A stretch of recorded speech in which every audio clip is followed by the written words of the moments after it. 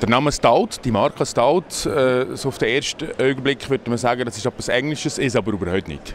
Nein, das ist es nicht. Das ist äh, gegründet worden von Hans Stout in Wien.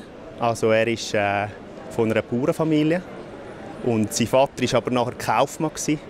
und er hat sein Drang war, Produkte äh, zu entwickeln, etwas einzumachen, so wie das die Mutter gemacht hat im Prinzip. Die feinen Sachen, die sie auf dem Hof hatten, die es in der Umgebung gibt, einfach das fein, korrekt einzumachen und einfach eine perfekte Linie aufzubauen, wo eigentlich äh, der Gusto im Glas daheim äh, ist eigentlich so. Das ist für ihn unheimlich wichtig. Die Qualität, die der Produzent produziert, äh, ins Glas zu bringen.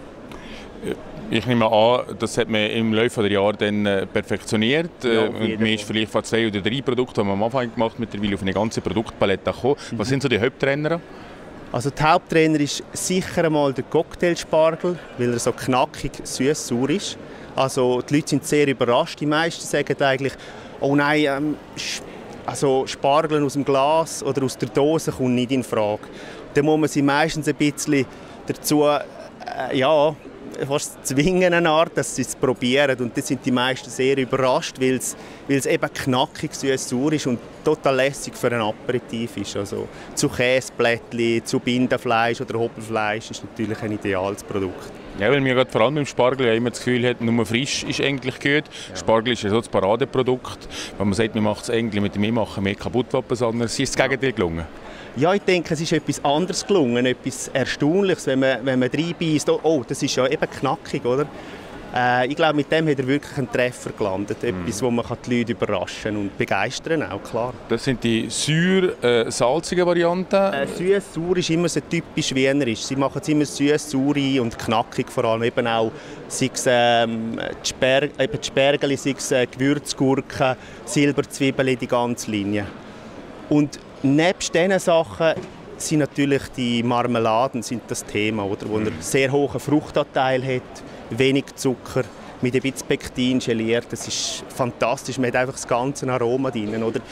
In der Erdbeerkonfi hat er vier bis fünf, sechs verschiedene Sorten drin. Und bei uns kann man froh sein, wenn man wenn man vielleicht zwei Sortenvarianten hat von einem Erdbeer. Wir kaufen einfach Erdbeer ein, mhm. aber er sucht dann aus, welche Sorten das passen, die Konfi. Mhm. Das ist total erstaunlich, oder? Jetzt mit relativ wenig Zucker, wie macht es mit der Haltbarkeit? Sind da irgendwelche äh, Konservierungsstoffe mit dabei? Null, null. Also wie früher, dort sie wirklich pasteurisieren. Mhm. Eine super geniale Anlage. Ist übrigens äh, gemacht aus Memmental, aus Langnau. Und mhm. Also mit, mit Schweizer Wissen in Österreich verwirklicht. Mhm. Wie groß ist die Firma? Oh, ich glaube, mittlerweile haben sie etwa 30 Mitarbeiter. Mhm. Ja. Also eigentlich ein, ein kleiner Fisch in dem riesen Teich von der, von der, von der grossen? Ich denke schon, ein kleiner. Aber was mich erstaunt an dieser Firma, es ist immer, das Produkt ist einfach unglaublich präzise mhm. und immer gleich. Also man kann sich auf die Qualität verlassen, absolut. Eben wie gesagt, bei der Erdbeere dieses Jahr sogar noch besser. Das ist klar jahrgangsabhängig, immer bei, bei Esswaren, bei Lebensmitteln. Oder? Aber dort ist fantastisch. Man kann sich wirklich verladen auf.